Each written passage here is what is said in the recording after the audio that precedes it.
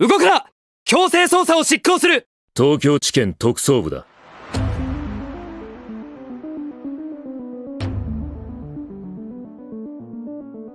文雄今回のアグラス事件の罪状は？薬機法違反です。つまりこの四大学への利益供与の証拠を見つけ出す。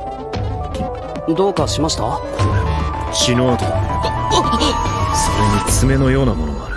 これは皮膚か？下の黒ずみよく見ると文字が重なってる。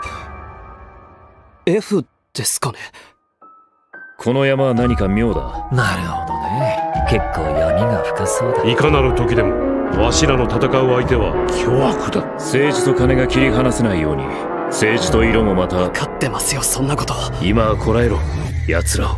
必ず仕留めるために。あれは